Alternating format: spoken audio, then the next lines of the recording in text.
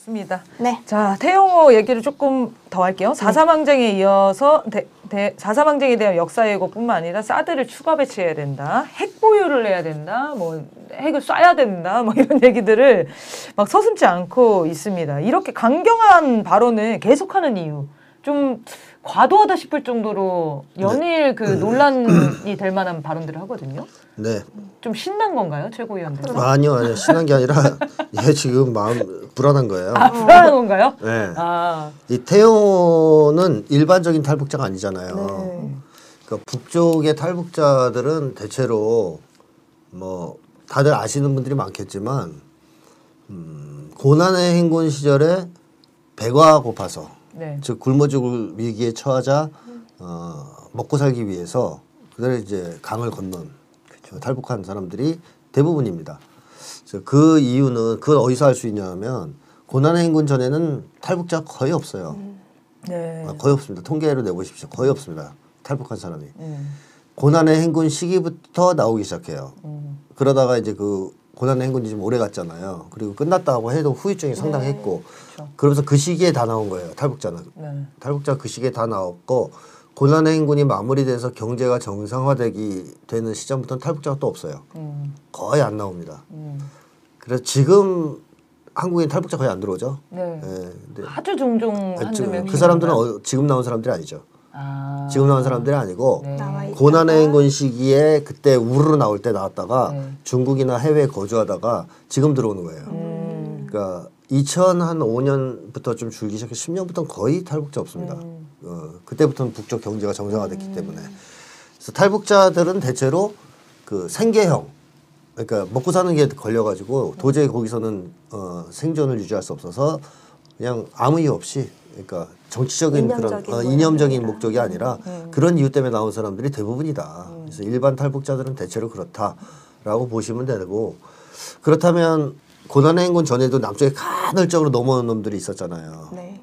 뭐 이유, 바뀌네요. 이웅평이 이렇게 뭐 미국이 몰고 오고 막 이런 애들이 있었어요. 네네.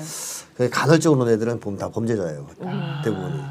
고위직이라든지 네. 이런 사람들. 네. 음. 그러니까 뭐 국가를 반역하는 범죄도 있지만 대체로는 이제 그 이웅평은 그 당시에 뭐 사단장 마누라하고 간통을 했나 아. 겁탈을 했나 뭐 그런 범죄가 있었거든요. 그래서 비행기 끌고 예, 거예요? 튀었어요. 아. 잡힐까 잡힐까 봐. 친구네 거는 예.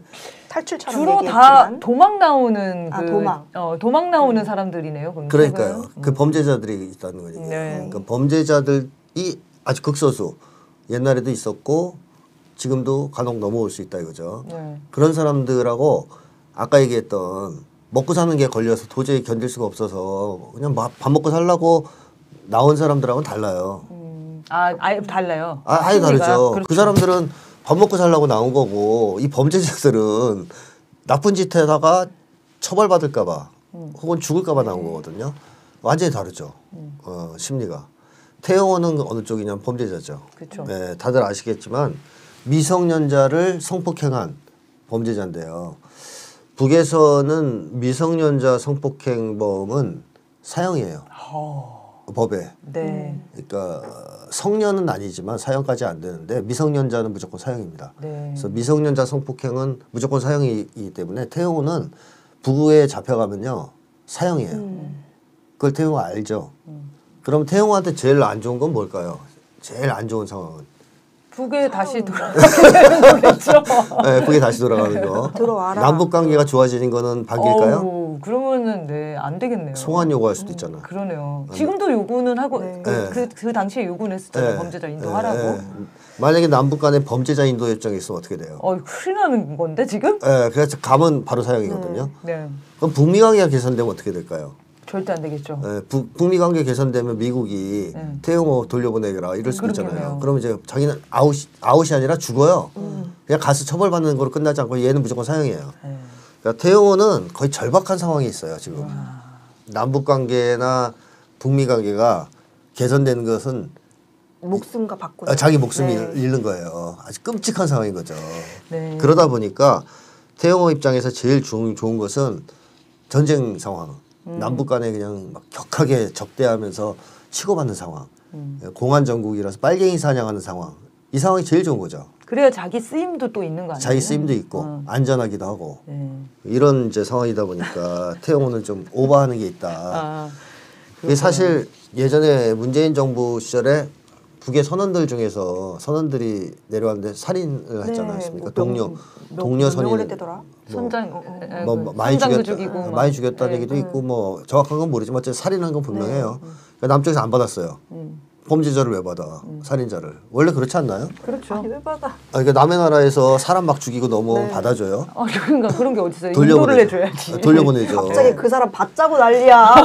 그러니까. 그러니까 진짜 어이가 없어. 근데 국힘은 받아야 된다는 거 네. 아니에요. 아니 갑자기 그 사람의 인권은 어디 있냐면서 어. 갑자기. 어, 그거 받아서 사실 윤석열 경호원 시키면 되거든요. 그렇지. 예, 그럼 이제 어느 순간 도끼로 이제 찍는 거지. 이제 그 사람 그놈 헷가닥 해가지고 그랬으면 좋았을 텐데 받았을 거 그랬어. 네. 근데 어쨌든 범죄자를 받는 나라는 우리나라 유일해요.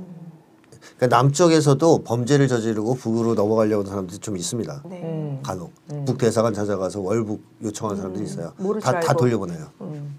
범죄 사실이 있으면 돌려봐요. 안 아. 받아요. 북에서. 그래서 그게 일반적이죠. 그게 네. 모든 세계의 상식 아닌가요? 그렇죠. 전 세계가 다 그러세요. 누가 범죄자를 받아요? 범죄자는 안 받죠. 우리나라만 받는다니까요. 그것도 국힘당이 집권할 때. 아, 예, 민주당 집권할 때 안 받아. 아, 받은 사람이 키워 그럼. 이 국힘당은 그런 사람들이 딱 이용 가치가 있다 있죠. 이렇게 생각하나. 보네요. 나쁜 놈이니까. 음. 예, 나쁜 놈 나빠, 아. 예, 나쁜 놈 아니면 받을 수가 없는 네. 거죠. 착한 사람 받으면 안 되잖아요. 그 예전에 친일파들 기용한 논리랑 똑같은 거네요. 그렇죠. 어, 해방되고 범죄를 저지른 이 네. 친일파들을 기용해야 자기한테 충성할 수 있다라고 그렇죠, 생각하는. 그렇죠. 어떻게 70여 년 동안 항상 정치 방식이 바뀌지 않고 늘 나쁜. 놈들만 모여야 그게 네. 유지되는 건가 봐요. 얘들은 뭐 색깔론으로 다 모든 걸 해결했으니까 네. 정치 방식을 바꿀 이유가 없는 거죠. 그러네요. 그래서 태영호가 한국에서 지금 국회의원도 하고 강남 국회의원입니다, 여러분. 어, 소위 최고위원까지 해먹고 있지만 네.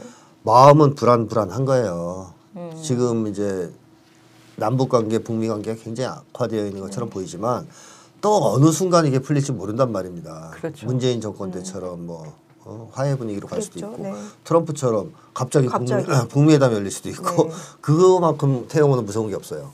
그러니까 당연히 이런 극단적인 발언들을 하는 건데 문제는 얘가 머리도 나쁜 것 같아요. 그러니까 예, 좀 예, 전략적으로 좀, 해라. 예, 뭐 말이 나름 되는 소리를. 배웠던 놈이 대가리도 아, 죄송합니다. 머리도 좀 안 좋은 것 같아요. 왜냐하면 핵 보유를 해야 된다 이거는 미국 형님들이 싫어할 얘기거든요. 아 눈치가 좀 없네요. 네. 번지수 잘못 찾았어요. 그러니까 사드 추가 배치하는 말 하면 형님들 좋아하시죠. 음. 아유, 좋아하죠. 음. 아, 미국이 그렇지. 아 이 자식 귀여운데 이럴 텐데 핵 보유해야 된다 얘기하면 저 새끼 누구야? 미쳤나 저게 누가 이거 어, 저 자식 누가? 이름 이름 적어놔 막 이렇게 될 수 있는 이거 위험한 발언이에요. 네. 음, 미국이 싫어하는 발언입니다. 그러니까 얘가 지금 살려면 미국한테 잘 보여야 되는데 머리가 나빠서 예, 할말 안 할 말을 잘못 가려서 하는 것 같아요. 음. 그러네요. 예, 지금 약간 점- 혼란스러운 상태 같네요. 네네네.